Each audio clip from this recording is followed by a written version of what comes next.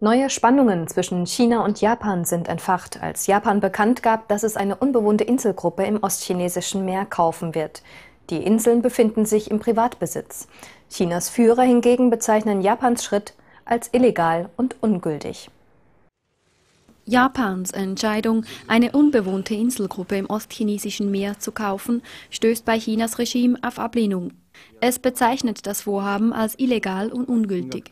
Japans erster Kabinettssekretär Osamu Fujimura hat den Kauf am Montag verkündet. Einen Tag nachdem die Führer der zwei Länder sich beim APEC-Gipfel in Russland getroffen haben. Chinas Staatsfernsehen CCTV berichtet, dass der chinesische Führer Hu Jintao Japan warnte, die Zitat Ernsthaftigkeit der Situation zu erkennen und keine falsche Entscheidung zu treffen. Die Inseln, in China genannt Diaoyu und in Japan Senkaku, befinden sich in Privatbesitz. Seit längerer Zeit sind sie immer wieder Objekt von Souveränitätsstreitigkeiten zwischen Japan, China und Taiwan gewesen.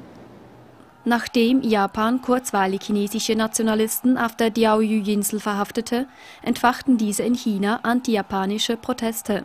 Das chinesische Regime begrüßt diese.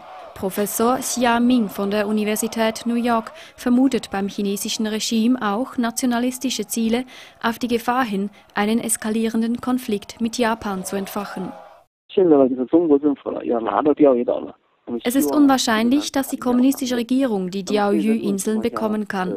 Dieser Kauf hat also wenig mit der chinesischen Öffentlichkeit zu tun. Wenn China das Problem benutzt, um Nationalismus anzustiften, dann ist zu befürchten, dass sobald die Gefühle überkochen, es für die chinesische Regierung sehr schwierig sein wird, einen Kompromiss für das Problem zu finden.